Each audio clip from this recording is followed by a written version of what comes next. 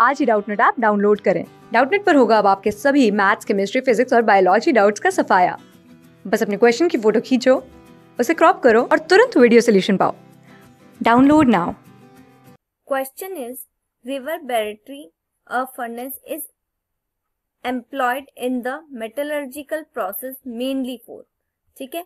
तो metallurgical uh, process जो होता है ये किसके लिए होता है? तो देखो ये मेनली हमारा यूज़ होता है रिडक्शन ऑफ़ ऑक्साइड ऑर्स ठीक है? ये किसके लिए यूज़ होता है? रिडक्शन ऑफ़ ऑक्साइड और इसमें क्या होता है? इस प्रोसेस में स्मेल्टिंग होती है।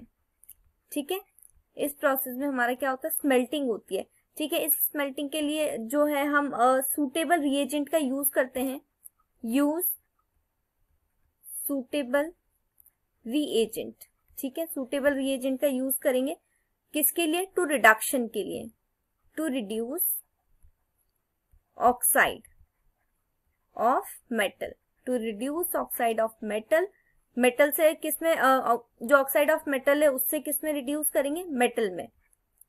इनटू मेटल बाय हीटिंग ठीक है?